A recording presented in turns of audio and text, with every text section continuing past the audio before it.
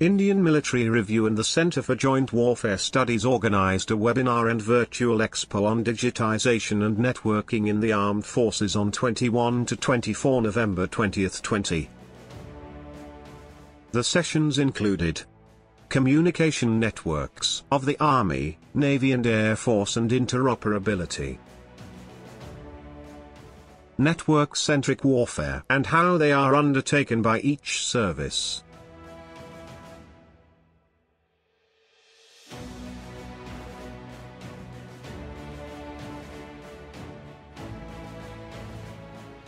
C4ISR.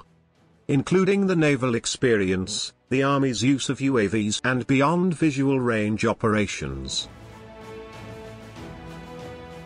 Decision support systems, particularly communication to weapon systems and identifying friend and foe. Information, data and big data challenges including information sharing and managing information overload. Space domination and satellites by officers from the Defense Space Agency and DIPAC. And new technologies which included artificial intelligence, 5G and Internet of Things.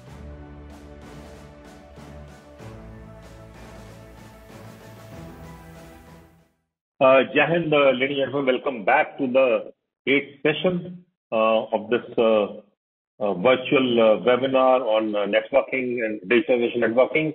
Uh, thank you very much. Uh, we are uh, uh, a little out of time, so I will request the chair, General V.K. Sharma, who is an old colleague from the LDMC days, to abide by the to ensure that we finish on time.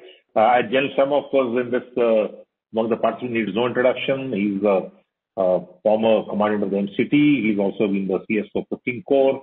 Uh, he's uh, quite well renowned for all his uh, intellectual work in the armed forces circles. And without much ado, over to the chair, sir, for to conduct the session. Thank you very much, General Vinod Bhatia. And I extend a hearty welcome to all the speakers who are here with us today. Brigadier Inder Sethi, Brigadier J.S. Bindra, Group Captain D. Mandal, and Colonel Rajneesh Patel.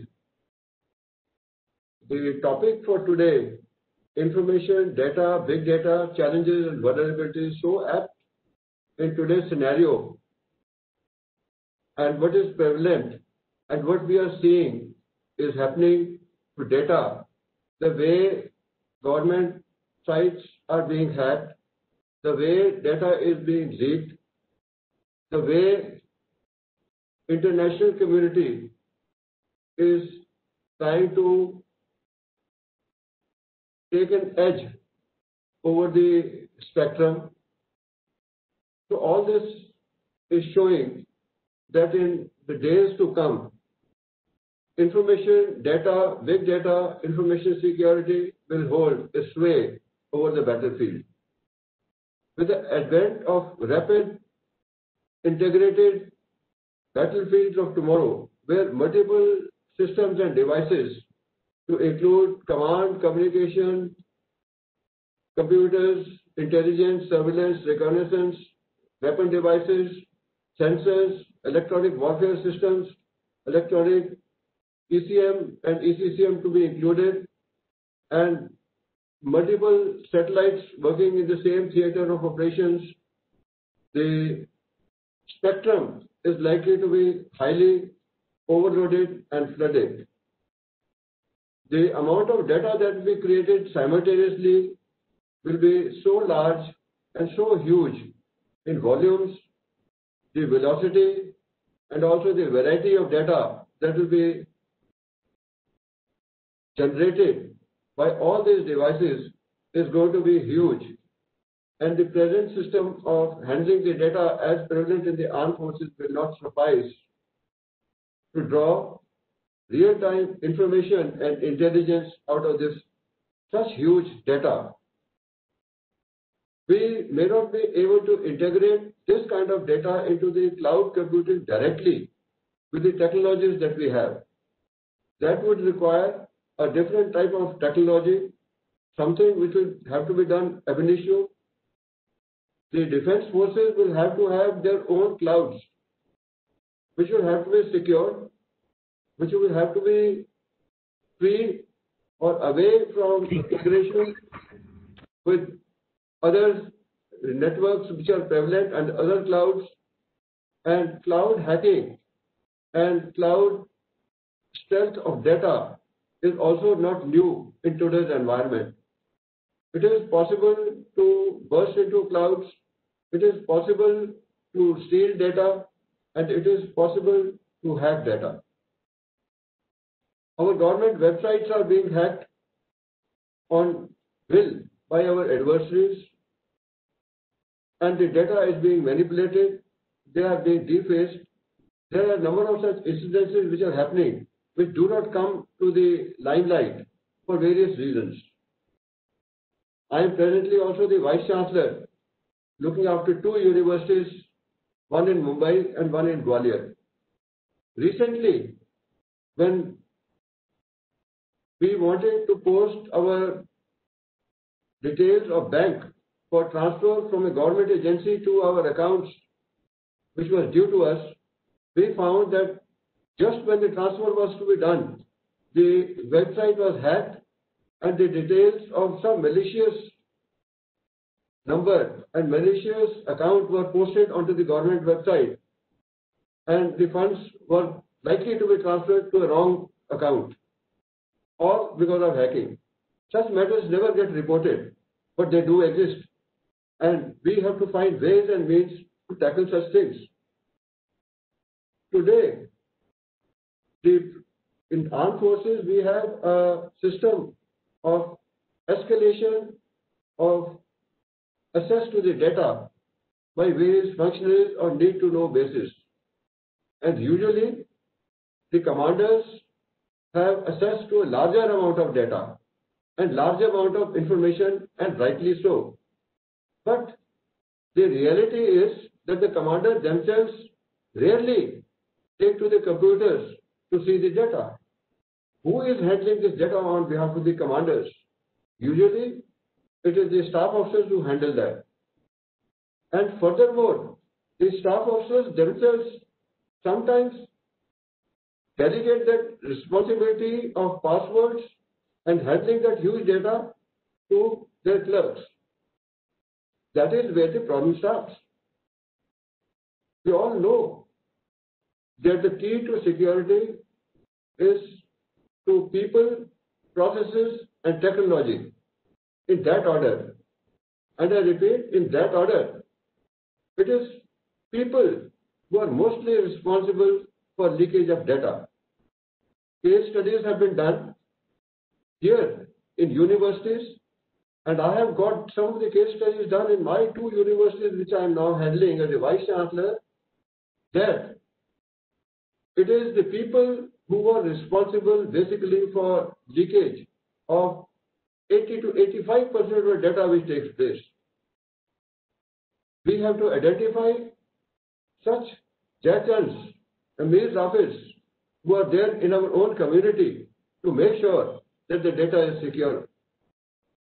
The importance of confidentiality and integrity and availability CIA of data is very important.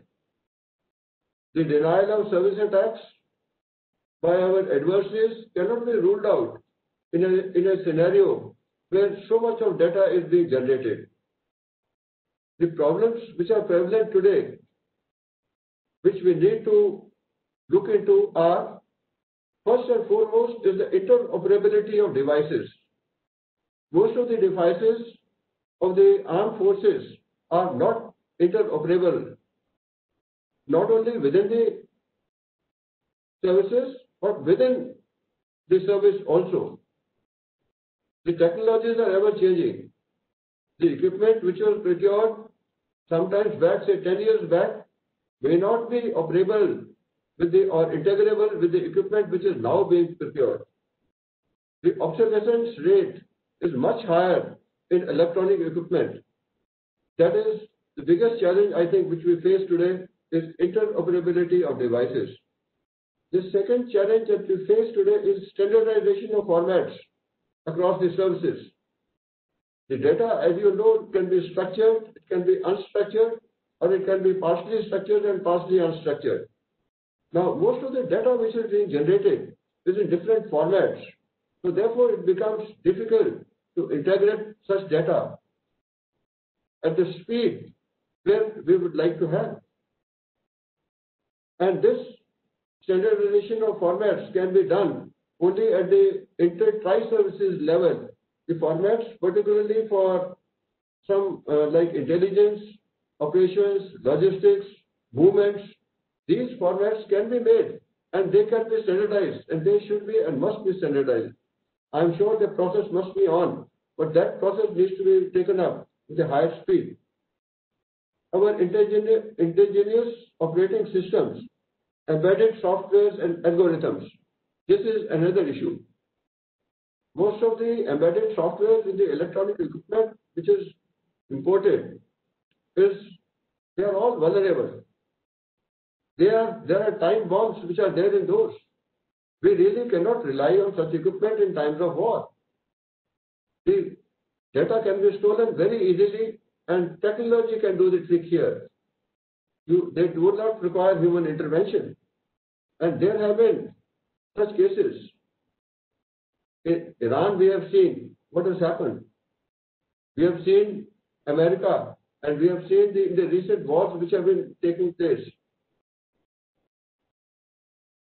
Next point is about classification of indigenous secrecy equipment, which is being done presently today under the Scientific Advisory Group, which works under HRD Ministry.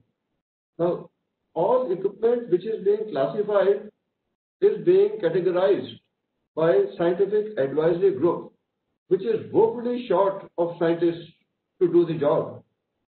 The pendency rate for an equipment to be classified varies anything from six months to maybe two years.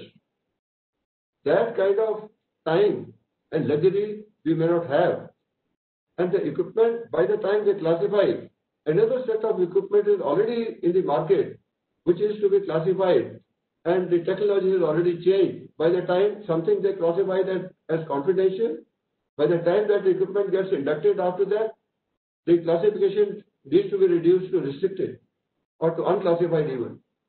So that kind of obsolescence and the kind of processes that we have need to be refined, and we need to take steps on that. The integration of ECM and ECCM devices, when they are to be launched in the overall battle scenario, is another very important task. The commanders at all levels need to integrate the electronic countermeasure and counter-countermeasure devices so that they can be effectively used, integrated, and automated at the time when it is required. And of course, the threats which I told you, the first threat is denial of service attacks, which take place, and second is managing the fake information, fake news, and disinformation which is coming, all under the garb of psychological warfare, which is happening it will continue to happen, and it will continue to happen more.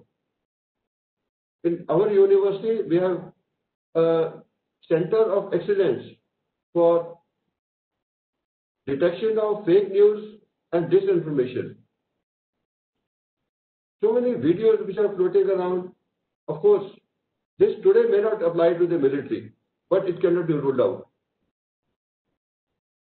In today's New York Times, there was a report that artificial faces are being put up and they are available for sale on media. That means a face which belongs to no one, of a person which does not exist in the world.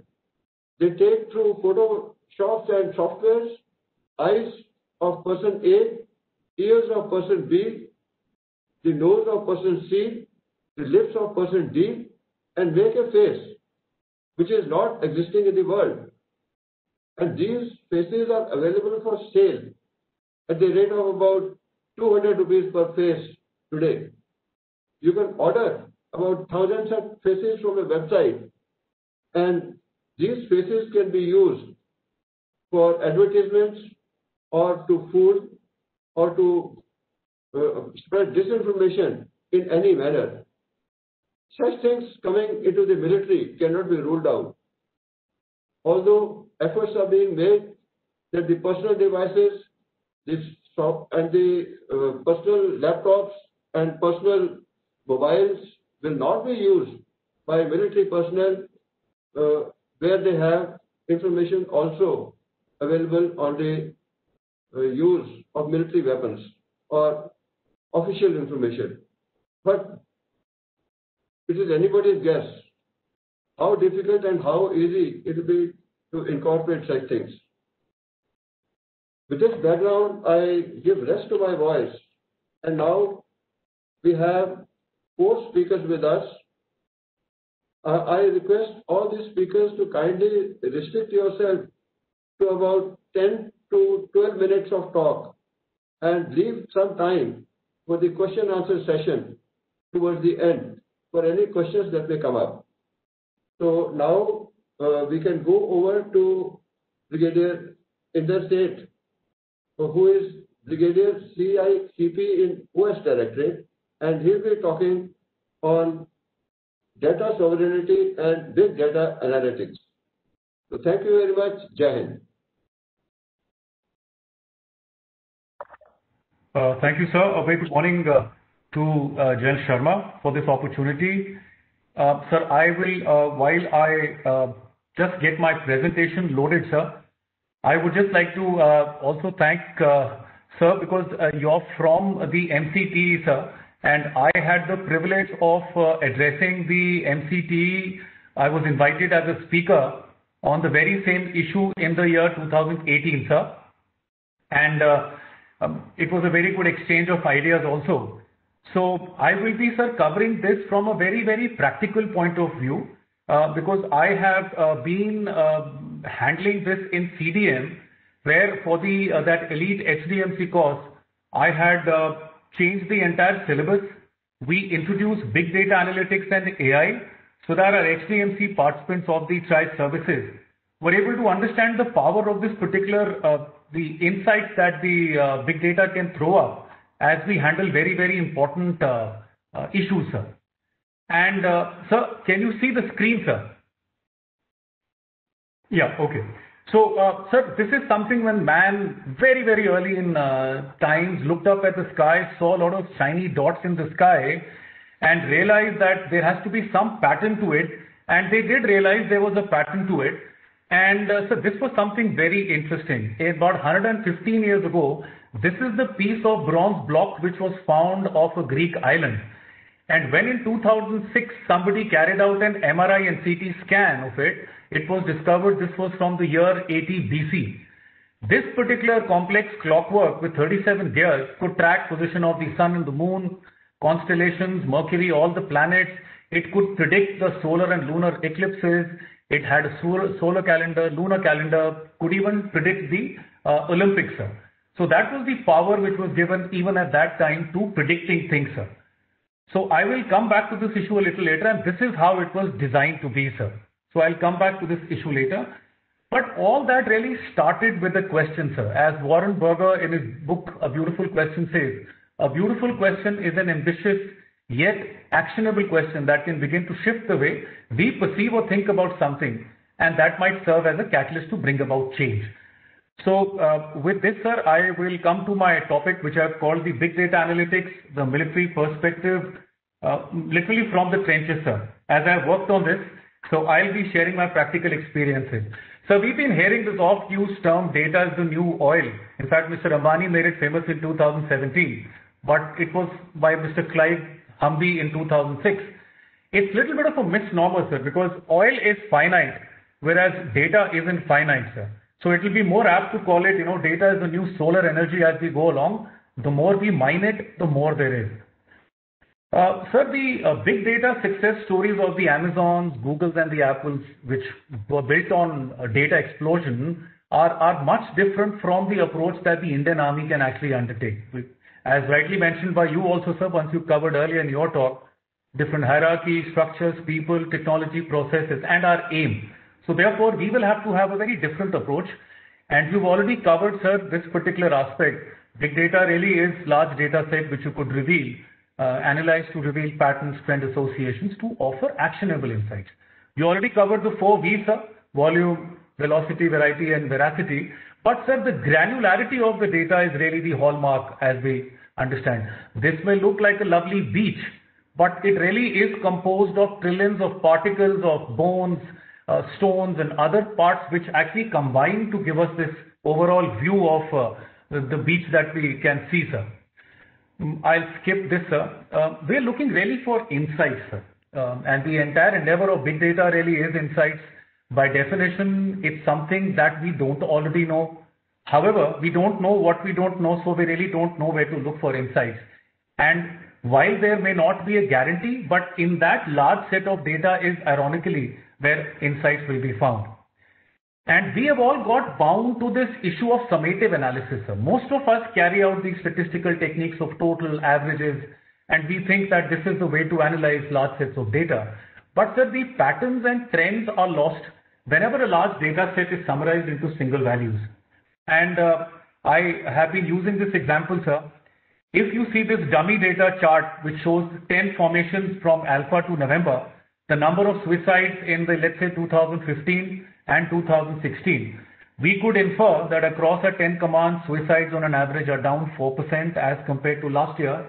While this may tell you nothing, sir, but it sounds like a very good thing to speak in a conference. And if I may just elaborate, if we go into detail, we'll see that only two formations Actually, there are two formations which have doubled or tripled their suicide cases. Six formations in yellow have reported no change, and only two formations have brought down their suicide cases, which overall is contributing to a negative 4%. Therefore, this is an example of small data where it is all very summative. Now, we are seeing, sir, the kind of analytics we see every time we switch on the TV. While we watch the tennis matches, People are now also recording the revolutions per second of a cricket ball. The kind of data which is available for each match, each set or each point is amazing as we already know. And so this brings us to the question, sir, so how is big data different from small data? Well, it only differs really in depth and granularity of the questions. While big data questions uh, require a deeper investigation of data, summative analysis cannot give it. Uh, small data questions will give you role, as role resolution view of your own organization or a business, while there is a higher resolution view available. Now, the leaders today, sir, the decision makers whom, who we've been speaking to and have taken part in this particular panel, have also, sir, need to make a sense of a large number of things which are going on in a VUCA world. They need to get a big picture. They have to go beyond their beliefs. They have to take in a vast amount of information and figure how to apply it to their ways. But that's a lots of why, what if, and how questions. So how do we address that, sir? Now enter big data analytics, sir.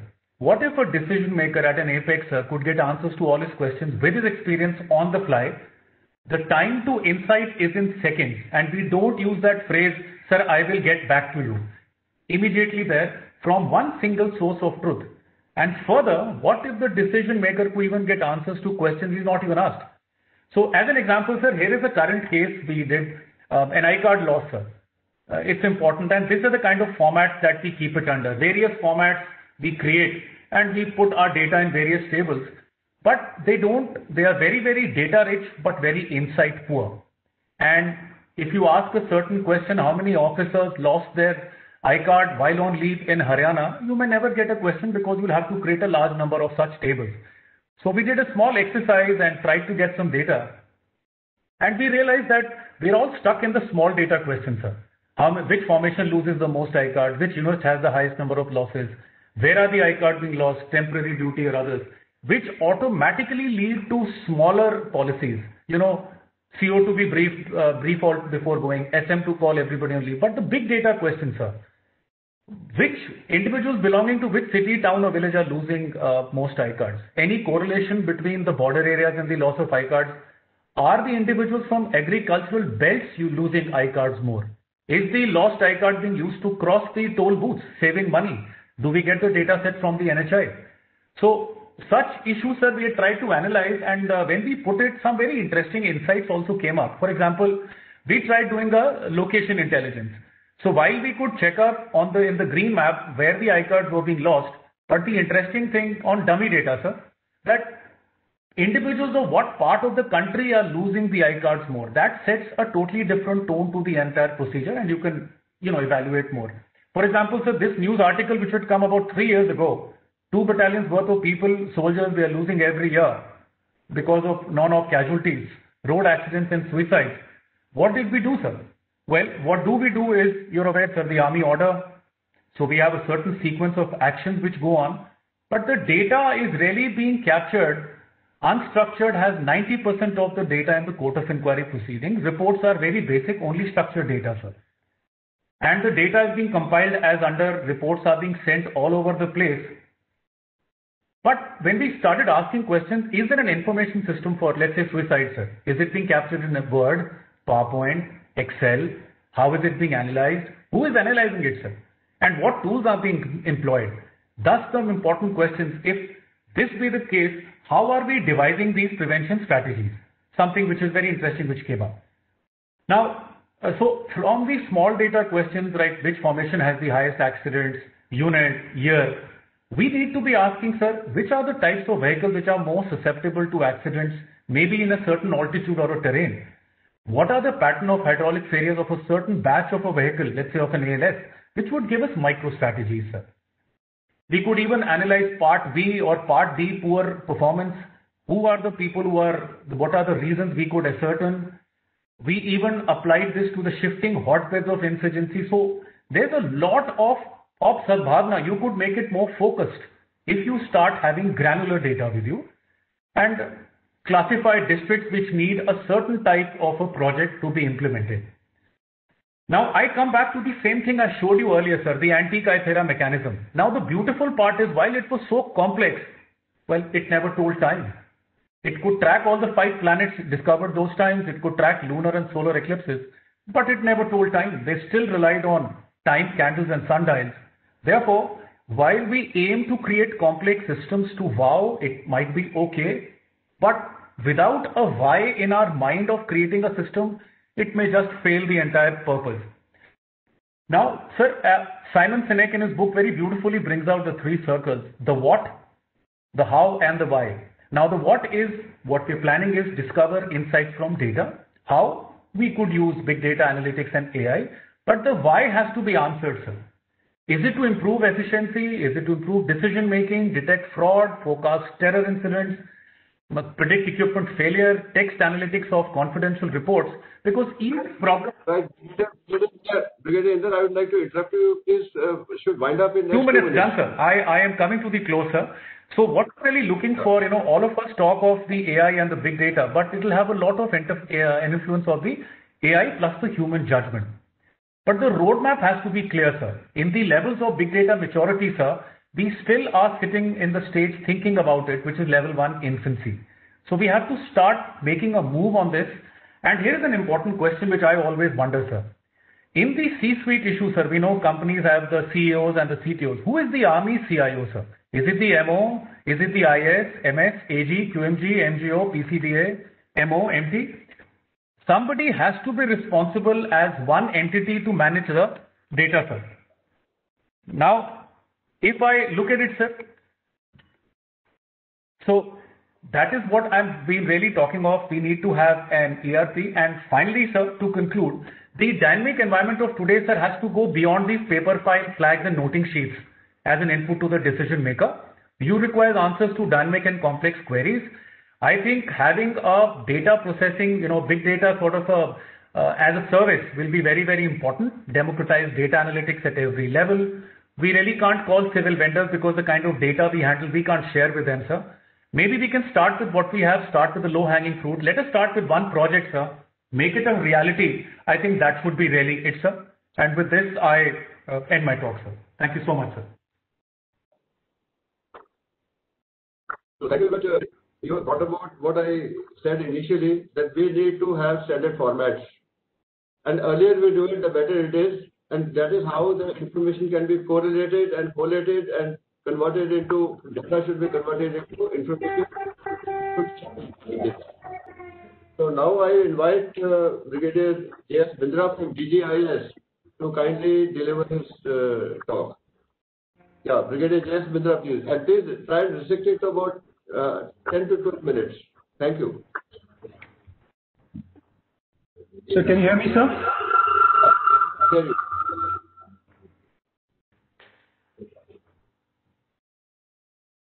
Can you hear me, sir? Yeah, we can hear you, but we can't see you. Please switch on your camera also. Sir, I thank the chair, uh, General V.K. Sharma and my fellow panelists to give me a chance to give my views on the subject of information sharing and management of information overload. To better understand the topic being covered by me in this session, it is important that first we understand what info is with respect to the armed forces. Toward this I intend covering my talk under the following points. Bindra, Bindra, can you check your in the can you check your camera, forces? please? How information sharing takes place in the armed forces? What are the challenges in info sharing? What are the challenges in management of information overload? Recommendations for improving information sharing and management of information overload in the armed forces. Coming to part one, what is information in armed forces? This can primarily be called as management of data which is generated in the armed forces. The data for armed forces is generated within and outside the armed forces. Within armed forces, it is being generated from individuals, units, formations at lowest, intermediate, and highest level. As far as domains of data is concerned, it is generated in many domains. However, for classification purpose, it can be considered to be generated in four major domains of operations, ISR, logistics, and human resource management. The domain of logistics and human resource are akin to any large organization. However, operations and ISR are unique to the armed forces and are ones which I would be deliberating on. The operations and ISR domain are unique and specific to the operational environment in which each of the services of the armed forces operate. The data or information in both these domains are generated from internal sources within a service, sister services, external services like national intelligence agencies, paramilitary forces, various establishments of the government, and friendly foreign countries. The sources of information for operations are primarily generated by actions of own forces as per operational plans or reactions on inputs received from enemy from the ISR network. Whereas in the ISR domain, the information the data are primarily generated by sensors and sources. Since the domain of information in ISR covers much later, larger spectrum than of operations, hereafter the talk will only concentrate towards ISR domain as the points of the issues in ISR will be able to resolve similar issues for the operational domain as far as information sharing and overload are concerned. As far as sensors which provide data for ISR, they constitute of ground, sea, aerial and space-based sensors. These sensors would include passive and active devices and would consist of radars, optical devices, electro-optical devices and other electronic devices. In case of sources, they consist of troops on ground, oblique in contact, special forces, agents, oblique agencies within and outside the country and inputs provided from friendly foreign countries.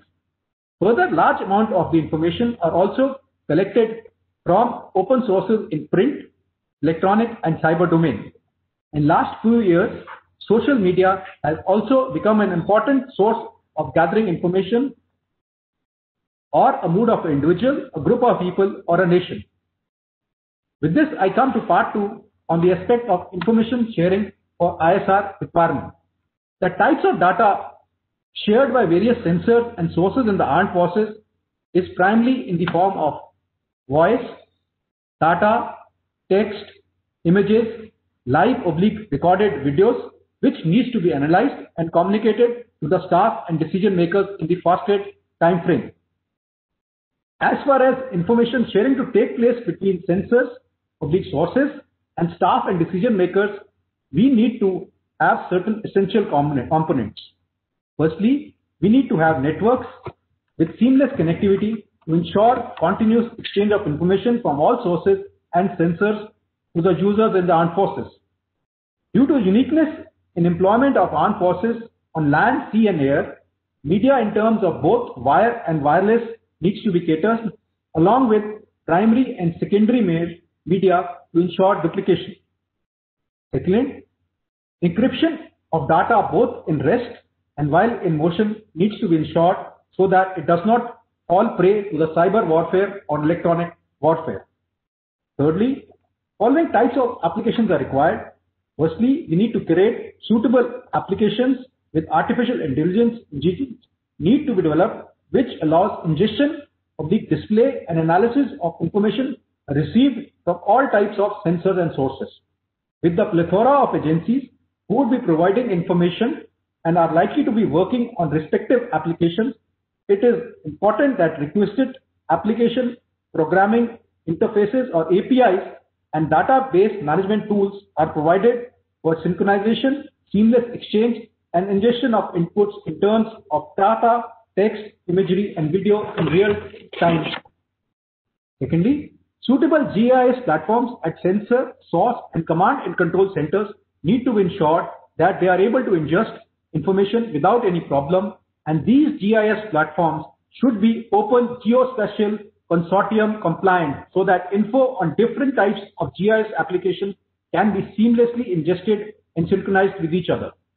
Further, sensors preferably should have inbuilt capabilities to connect directly with remote sensors to remove the requirement of interfacing additional IT hardware at sensor end. Fourthly, IT hardware for command and control centers and media is required to be catered for timely receipt of information for analysis by decision maker. Fifthly, centralized oblique decentralized architecture for storage enabling accessibility of data oblique information by users need to be catered. Since the armed forces are deployed in far-flung areas on ground, air and sea, and networks are prone to disruption, the system should have capability to work in offline mode. With this, I come to the part three. We will look into the challenges in information sharing. The biggest challenge is in engineering media for the network. As the armed forces are deployed in far-flung areas, we need to provide media for configuring the network up to the last users in field. The platforms in armed forces cannot be static, hence we too need to cater for connectivity while on move on redeployment to new location. Engineering secure networks for these mobile surveillance public information platforms in field in the electronic warfare environment for info sharing is a major challenge. Since many sources of ISR are outside the domain of armed forces, hence providing connectivity to these users and engineering of networks is another challenge for seamless real-time information sharing. Security of network is another challenge as some of the sources for ISR inputs may be working on internet.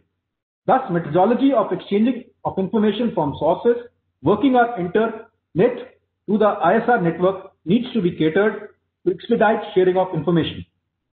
In the armed forces, due to the unique requirement of manpower and the pyramidal structures, the human resource keeps moving from one appointment oblique area of expertise to another.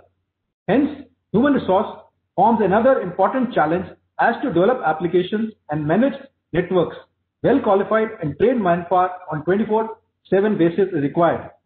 Further, the gestation periods in developing applications, troubleshooting, and constant requirement of improvement and changes in technology require expertise and prolonged association of human resource with the projects.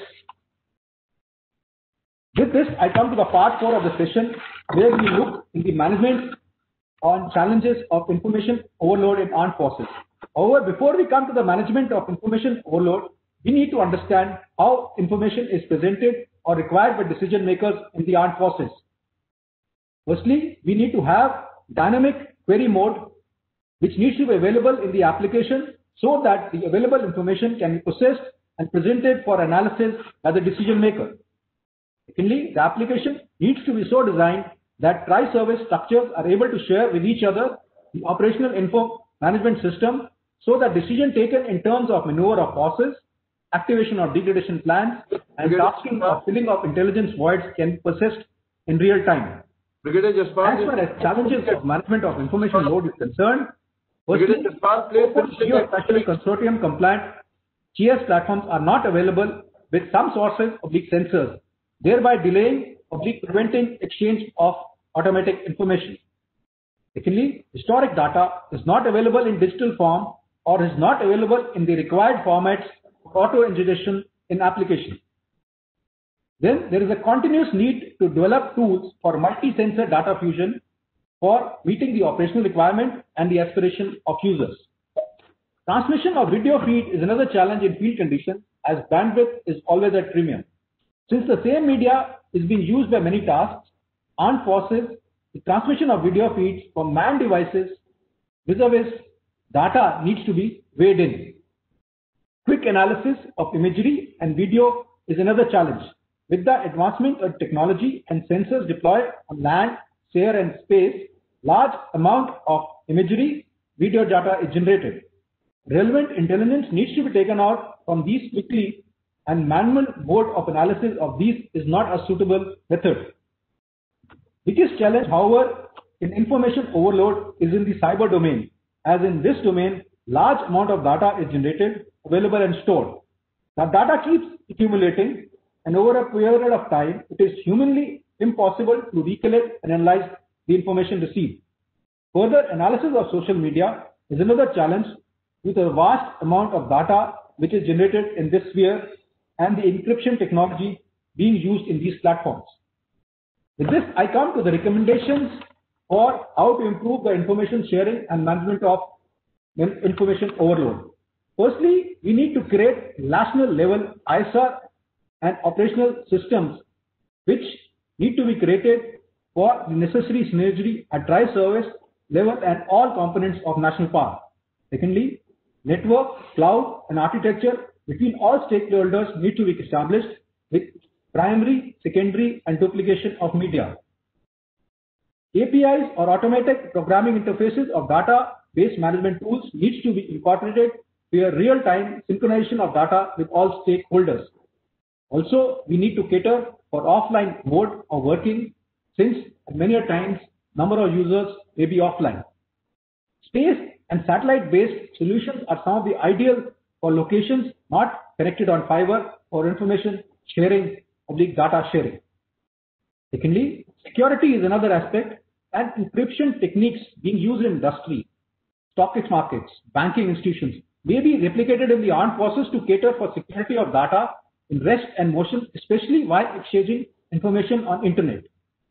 Also, we need to cater for hardware and software solutions for all our applications which are deployed at all levels in tri-service.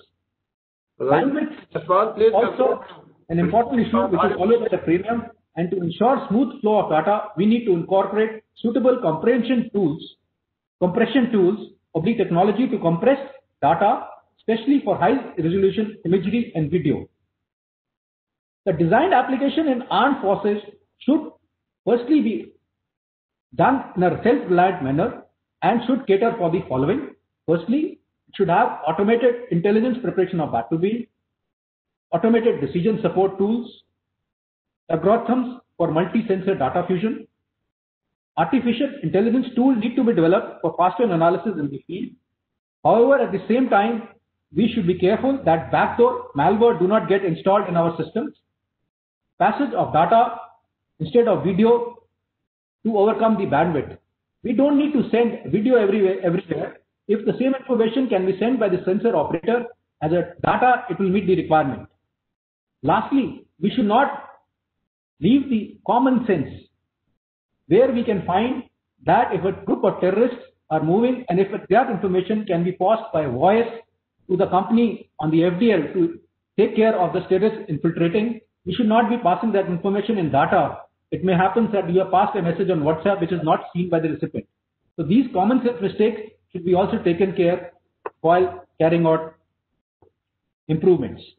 In conclusion, with the advancements of technology, and the process of information sharing has become faster and quicker, and with the likely introduction of 5G technology in future years, the speed of information sharing will even become faster. Establishing networks in future may be a lesser challenge than the challenge of information overload, which is the one which affects the decision-making capability. Thus, we need to build applications by incorporating suitable artificial intelligence engines to assist the decision maker to speed up the process. Human resource is another important facet, and Indian Armed Forces need to debate that do we need to create a separate information technology core to manage the future requirements of operational and intelligence management systems of armed forces. Lastly, fielding of systems during exercises and use of operational information management systems in our active, borders provide the best feedback in developing the required features of the system. With this, I come to the end. Thank you very much. Jai Hind. So thank you very much, Brigadier Jaspal.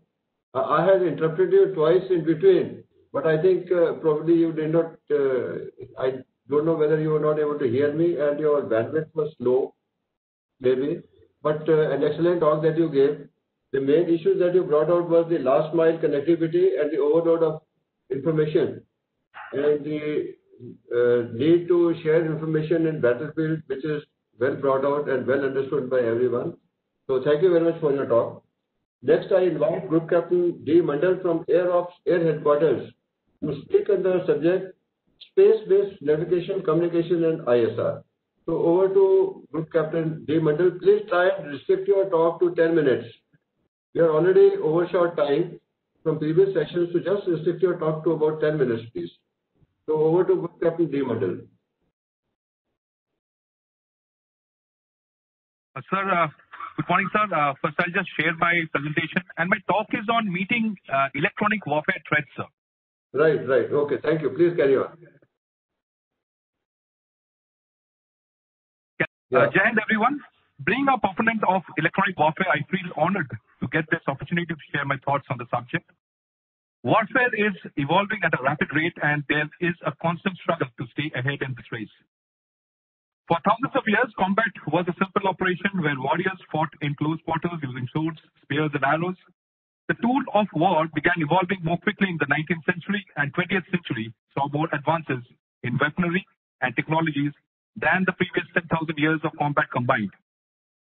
Major revolution in military affairs in the past 130 years include use of electronics and electromagnetic spectrum as a major enabler of warfighting capability.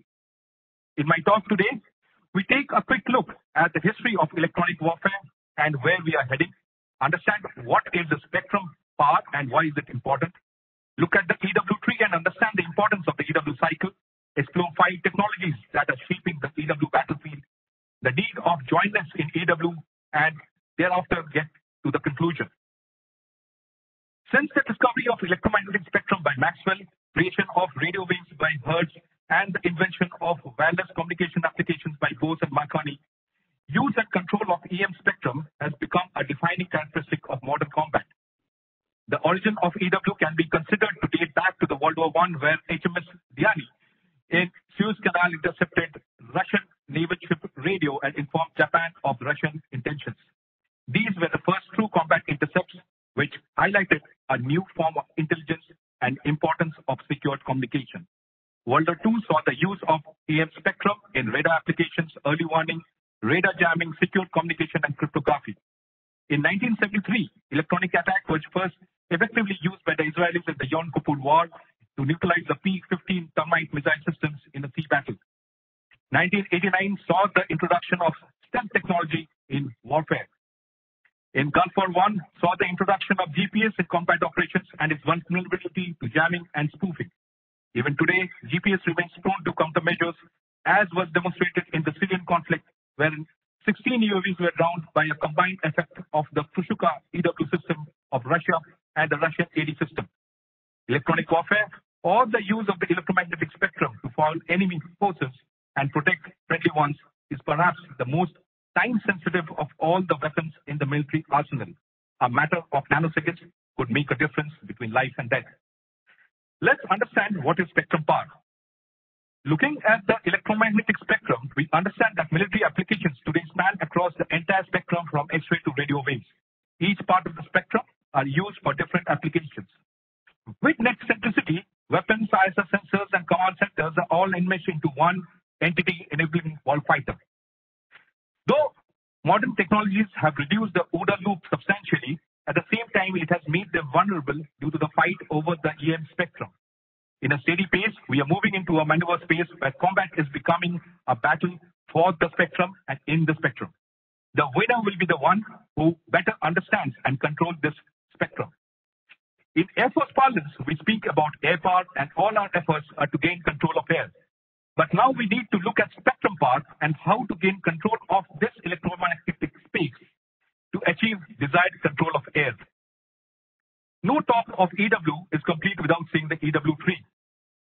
But actually, in operational parlance, it is a cycle of ESM where we intercept and sense the enemy use of the spectrum. Then in ECM or electronic attack, we aim to disrupt his use of the spectrum. And in ECCM, the enemy tries to beat our ECM by means of signal encryption, frequency hopping, etc., while we fight to maintain friendly use. In this this has been a cat and mouse game between ECM and ECCM and a site which can run the EW cycle faster gains control of the spectrum and this has been the aim of all EW system designs. EW has been highly dependent on technology. Technology changes are ever changing the playing field and it's critical to assess these technologies which are shaping the electromagnetic warfare environment. Understanding this technology is paramount to focus our effort to innovate to cater for the countermeasures. Today, we review five technologies that will control future EW capability. First is field programmable gate arrays, which are enabling software-defined technology. We look into transmitter designs, thereafter look into cognitive EW, convergence of cyber and EW operations, and look at the future of quantum technologies. A, a comparison between the Cray 2 supercomputer of 1985 and the present day mobile phone indicates that we hold 10 times enhanced processing speed and data flow rates than the supercomputers of the 1980s. Processing power is doubling every 18 months. Additionally, systems are becoming smaller, lighter, and operating with lesser power and generating lesser heat. EW equipment which required large aircraft with special power supply engines can now be packaged into an UAV. The need for EW speed, never more urgent than now, is driving the incorporation of computationally intensive field programmable gate arrays or FPGAs as they are commonly known, as well as faster data conversion chips into front-end EW processing. The cost in the uh, industry is keeping up with this demand, and in recent times, FPGAs have approximately doubled the density of their processing resources while cutting down power consumption into half. FPGAs provide wide operating bandwidths, high throughputs, low latencies. FPGAs today form the heart of any modern EW equipment like radars, EW sensors, DRFM-based jammers, encrypted communications, and software-defined radios. FPGAs provide scalability and reprogrammability to enable software-defined technology, allowing EW systems to be more versatile and flexible wherein a single system has the capability to operate for multiple applications like being a sensor, a jammer, or a communication system, or be it all. FPGAs will continue to play a key role in evolution of EW applications at least in the next decade till quantum computing becomes a practical reality. Self-reliance in FPGA technology and signal processing algorithms will be critical capability that needs to be developed indigenously to stay ahead in the field of EW. Transmitter design has played a major role in design of radars and jammers. From the initial days of using magnetrons and traveling wave waves for signal generation to present day use of solid state transmitters, EW system capability has enhanced due to these advances. Solid state transmitters have handled the use of PESA and ESA radars in military operations.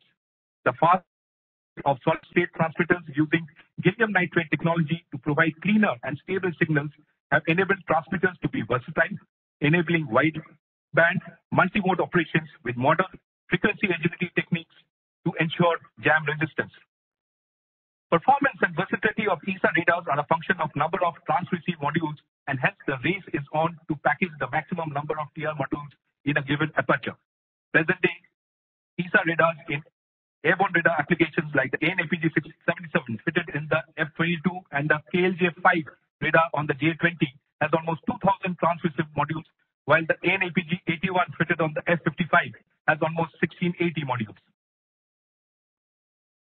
Traditional EW equipment includes predetermined transmission responses which are generated in the PFM generation stage by operators.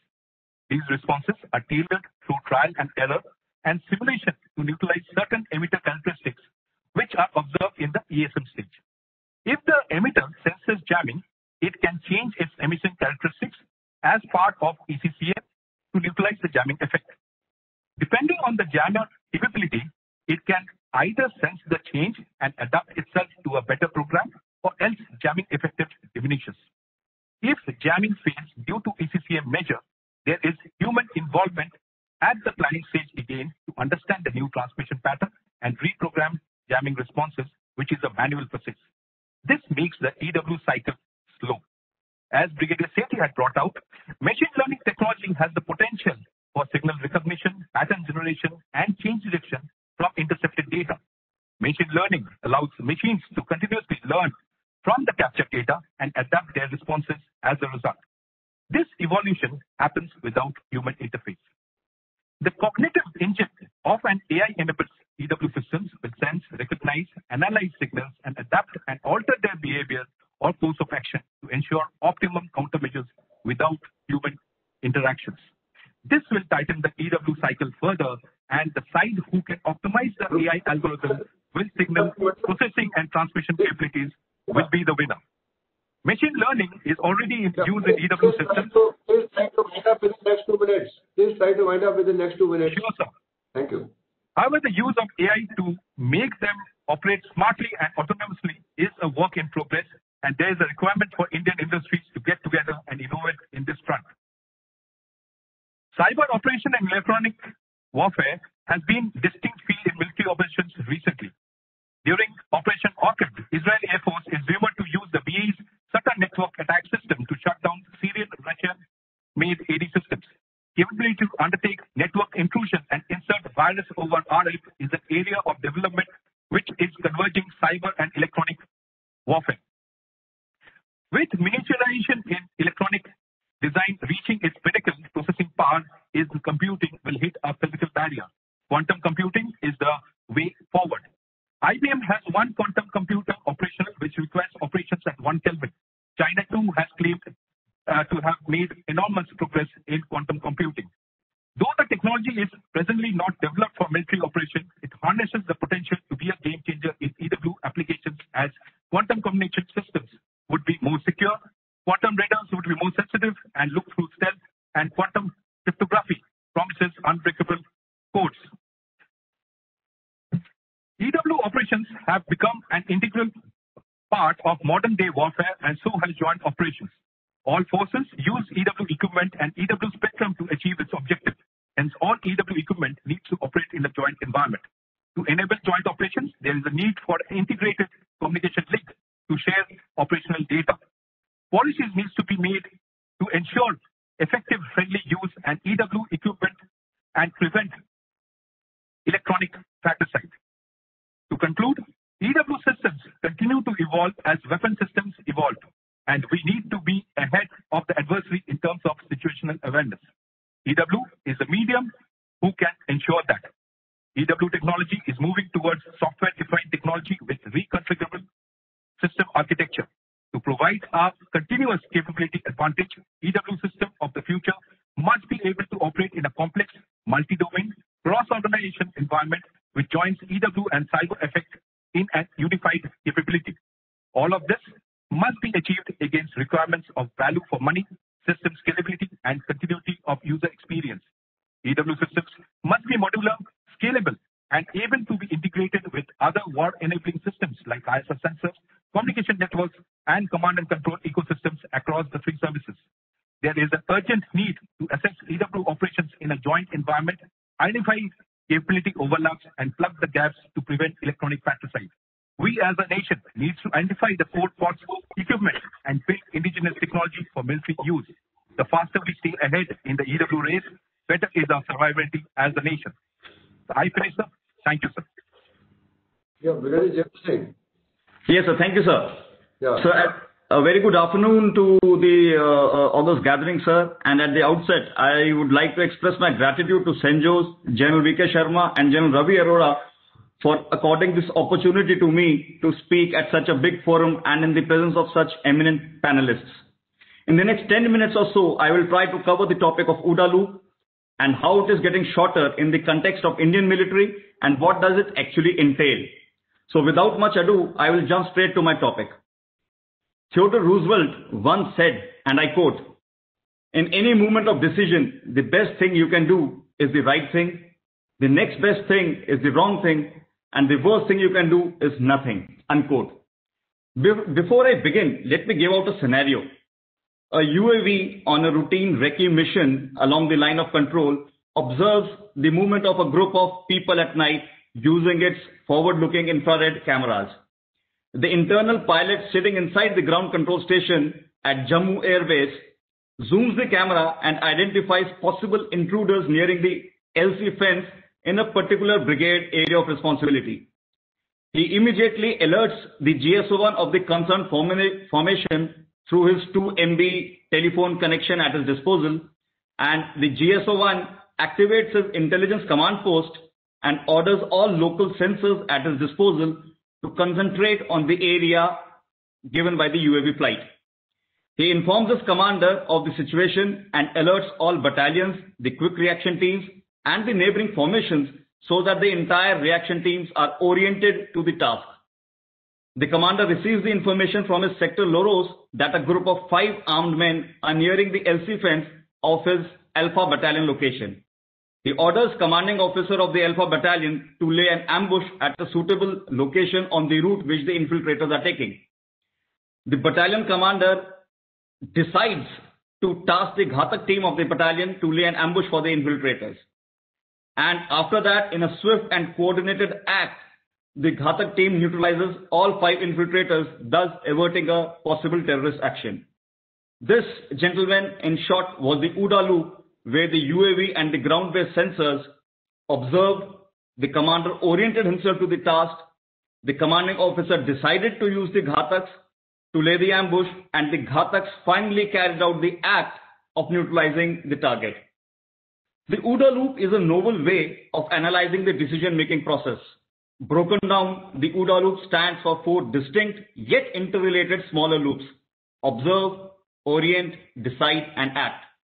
The OODA loop encourages decision makers to think critically, anticipate threats, and neutralize them before they become critical. Colonel John Boyd, a military strategist of the US Air Force, gave the concept of this OODA loop. He famously put his theory to practice by studying the fighter jets in action and was instrumental in the conceptualization of the F-16 uh, aircraft which are used world over.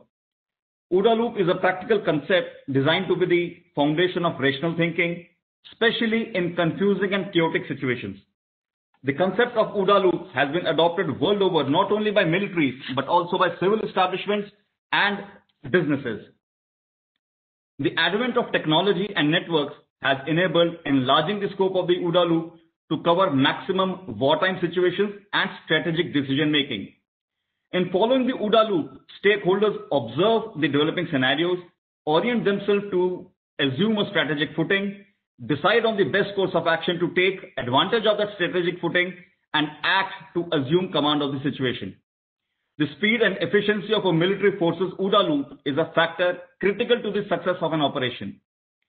Shortening its own decision cycle and disrupting the enemy's decision cycle allows a force to change the ground reality fast enough to leave the enemy uh, constantly reacting to a situation and not letting it have, have the upper hand. The ultimate result should be the strategic paralysis of the enemy so that he is blind, disoriented, confused, and incapacitated thereby offering a faster and more efficient way of fighting and winning a conventional war. In today's environment, C4ISR and the network-centric warfare are a prerequisite and go hand in hand to shorten the OODA loop for the decision makers. it is strategic imperative for Indian Defence Forces to build comprehensive national capability to negate any threat from its adversaries.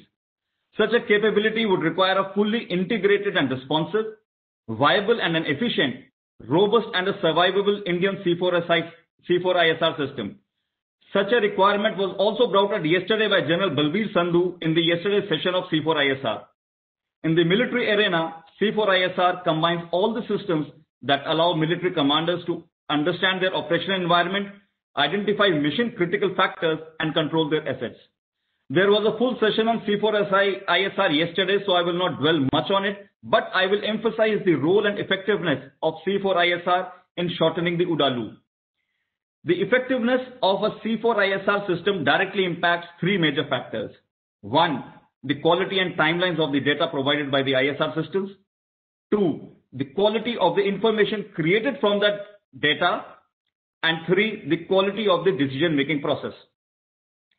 Further, to make the C4ISR grid effective, there is a requirement of an exceptional level of tactical uh, communications and radio networks to transmit intelligence, surveillance, and reconnaissance information from ground and aerial-based sensors to the surveillance centers.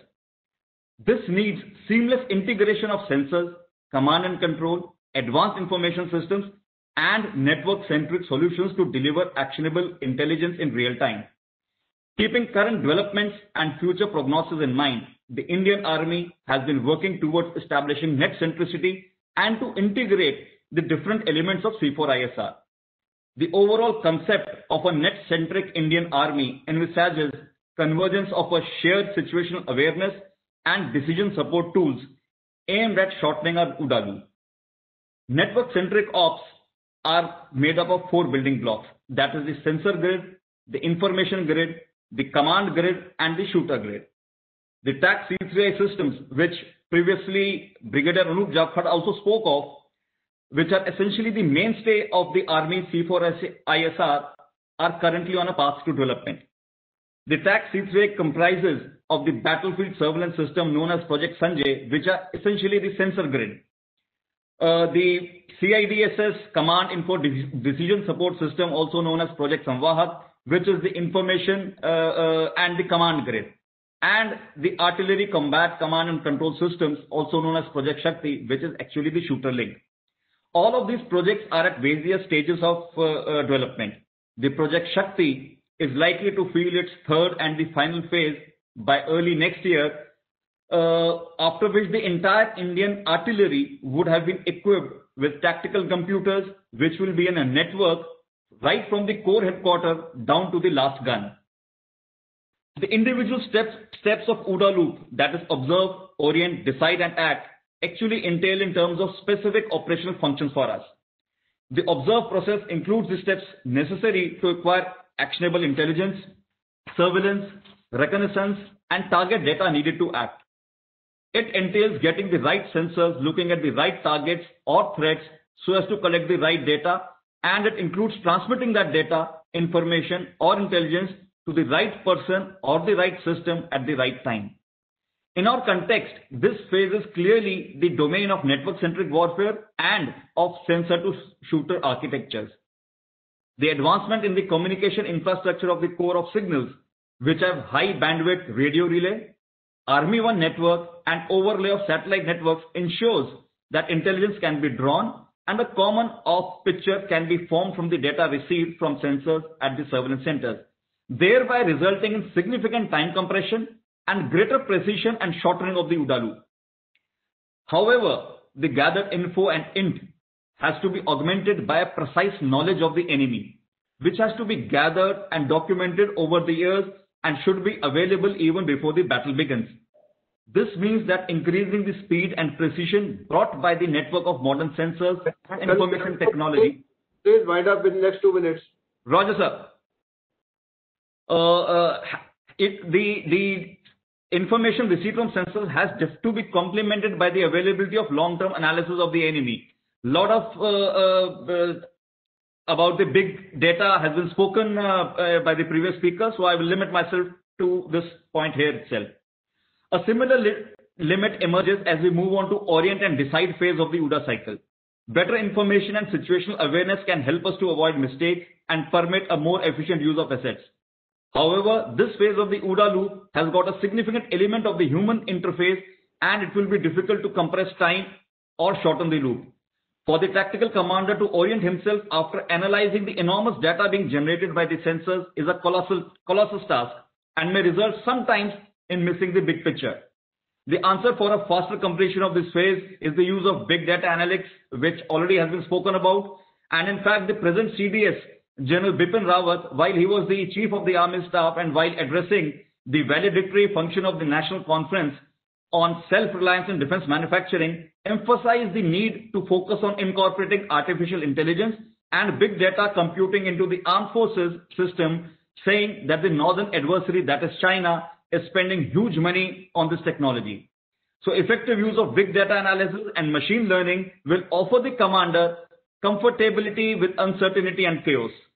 The act phase will take its own time as it depends on various factors like the kind of forces being used and the physical parameters of the combat situation and therefore does not have any major effect on the OODA loop. Therefore, ladies and gentlemen, the lesson is clear. Shortening of OODA loop is a joint function of receiving and organizing the information we need analyzing the information with the help of AI tools, and accelerating the generation of combat power and moving it to a target in the backdrop of a secure, reliable, and fast communication. In conclusion, I can say that in the process of developing a faster OODA loop, we suffer from various challenges which we have to overcome by improving on integration, bringing more synergy in analysis, having secure data storage and mining infrastructures, and enhancing the image processing and information sharing capabilities. With this, ladies and gentlemen, I come to the end of my talk. Thank you and Jai Hind. Thank you very much, uh, Colonel Jaswinder Pal. You gave a very good talk. And needless to say, the Loop can be reduced by the quality of sensors, by the quality of data which is transmitted by these sensors, the way the data is being captured, by various devices which are there, the time taken to analyze this data, to convert it into information, to convert it into intelligence, and to disseminate to the right entity which is required to take actions for that entity to deploy weapons and to take action and to fire. This is what OODA loop is all about and it involves a very high level of integration of all efforts at all levels, including the decision making, which should be decentralized, which I have always been speaking. So with this, we come to the end of the session. The important aspects which I had summarized in the beginning have all been well brought out, like interoperability of devices, integration of devices across services, the standardization of formats to get across data, capturing the data, the indigenous need for operating systems, embedded softwares and algorithms, the need to enhance and step up the capability of algorithm development and its classifications, the integration of ECM and ECCM devices, and the threats with regard to the hacking, which is prevalent, and we will have to have more uh, people who, or the soldiers, who should be the cyber soldiers to do all these tasks, which are very essential both on offensive as well as on defensive systems. We need to be quite offensive in cyber security, it is the offense which is more important than the defense, let me tell you. If you can extract information which is available, today our adversary has got about 10 lakh cyber warriors as compared to only about 10k actual hackers that we have today in our country. This system needs to be done in our education system itself from the beginning. And I think in army, it is the youngsters who need to be trained on these aspects because they can pick up faster. The technology is changing very fast, and we need to keep pace with it. So with this, we come to the end of this session. So all the speakers I would like to thank. You have given excellent presentations, thank you very much, and Jai Hind. Uh, thank you very much, uh, General Sharma. Thank you so very much for conducting the session. As a chair, we have taken the points which have been given by the panelists and the chair both, and uh, will include it in the proceedings. Uh, I also thank uh, all the panelists, Brigadier Sethi, Brigadier Bindra, Brooke Mandal, and Conjaswanda. Thank you very much. It's been an educative session.